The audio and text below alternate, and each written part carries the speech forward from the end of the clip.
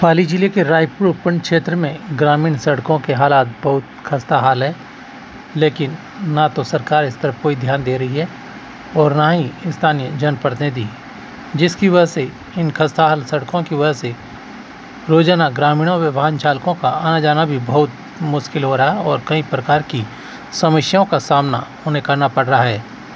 जलाई चौकी ग्राम से कानुजा की तरफ़ जाने वाली सड़क भी कई जगहों से पूरी तरह से क्षतिग्रस्त हो रखी है। कई जगहों पर तो डामर पूरी तरह से उड़ चुका है और कंक्रीट भी बाहर निकल गई है।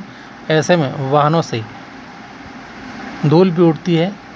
धूल उड़ने से छोटे वाहन चालकों को काफ़ी परेशानी झेलनी पड़ रही है और इस सड़क की खस्ता हाल दशा को लेकर ग्रामीणों ने कई बार प्रशासन व जनप्रतिनिधियों को भी अवगत कराया, लेकिन स्थिति जस की तस बनी हुई है।